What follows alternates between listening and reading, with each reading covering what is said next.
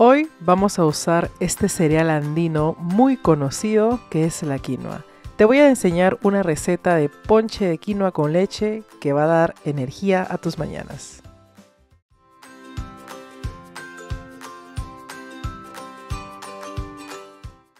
Hola cocineros, ¿cómo están? Bienvenidos una vez más a mi canal. Para hacer este ponche yo voy a comenzar colocándole agua y voy a dejar que se remoje por un mínimo de 2 horas. Cuando la quinoa ya esté mejor hidratada, vamos a colocarlo en la licuadora.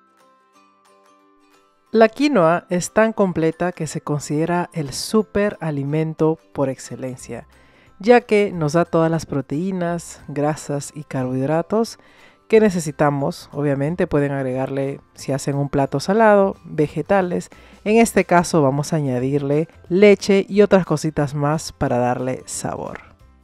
Ahora una vez que la quinoa esté en la licuadora, vamos a agregarle agua y lo vamos a licuar por aproximadamente unos 3 a 4 minutitos ya que nos tiene que quedar un purecito para luego cocinarlo en la olla.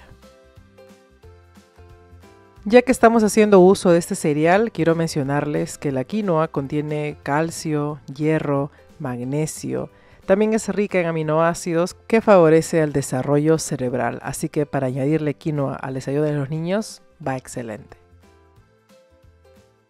Este cereal también es libre de gluten, así que para las personas que son intolerantes al gluten pueden usar la quinoa. Como la quinoa tiene bastante fibra, ayuda a mejorar el tránsito intestinal. Obviamente por 100 gramos de quinoa obtienes entre 10 a 16 gramos de fibra. Entonces, si tienes problemitas por ahí, ya sabes, tómate tu ponche de quinoa. Para darle saborcito a este ponche de quinoa le voy a agregar clavo de olor y también la canela. Recuerden que todos los ingredientes están escritos en la cajita de descripción de este video o en mi página web ceciliatupac.com. Ahora aquí también yo le voy a agregar como toque personal anís. Hay muchas personas que le echan algunas hierbitas como el cedrón, la hierba luisa, así que eso es opcional. Esto lo vamos a hervir hasta que tome un poquito de espesor. Obviamente va a depender mucho cómo te gusta el ponche de quinoa. Si te gusta más aguadito, agrégale más agua porque obviamente la quinoa se va a hinchar, se va a cocinar.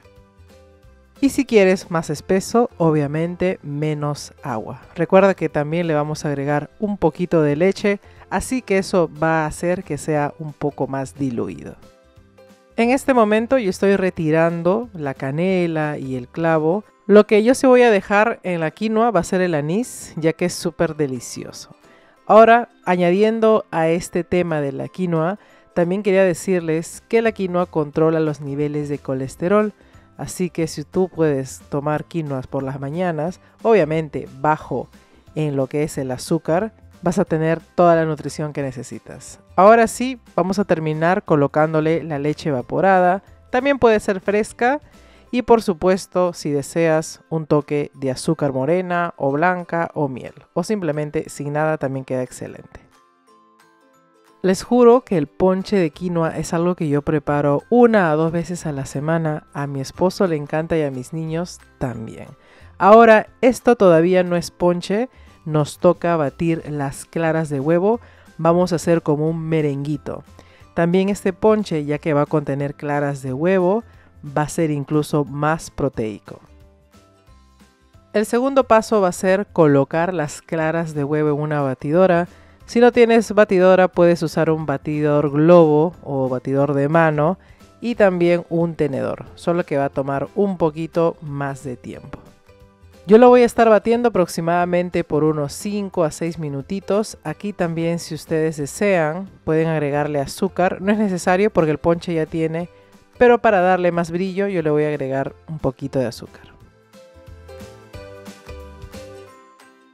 Una vez que tengamos este merenguito, vamos a añadirlo a nuestra quinoa que está en esta olla que se ve y huele delicioso. Vamos a colocar todas las claras lentamente y luego lo vamos a batir hasta que todo se unifique. Yo también aquí le agrego otro ingrediente que le va a dar ese saborcito y es la algarrobina. Para servir este ponche, ustedes tienen dos opciones. Colocar el merengue ya en el vaso y luego añadir la quinoa o la quinoa primero y el merengue arriba. Particularmente a mí me gusta mezclarlo, así que esta es mi manera de hacer ponche de quinoa. Les mencioné hace unos minutitos que yo le agrego la algarrobina y gracias a Dios mi mamá me trajo algarrobina de Piura, entonces le estoy dando ese toquecito y ese color también a este ponche con este producto. He visto también muchos ponches que lo hacen a base de cerveza, otros cereales y también le colocan un toquecito de huevo y algarrobina. Para terminar este ponchecito voy a colocarle un poco de canela molida por la superficie y esto ustedes lo pueden acompañar si desean con una tostadita, un sándwich o tal cual también queda excelente como desayuno. Cocineros, ya tenemos listo este desayuno de quinoa, espero que lo disfruten y no olviden dejarme su like si les gustó mi video y por supuesto compartir la receta. Cuídense mucho y nos vemos. Chao.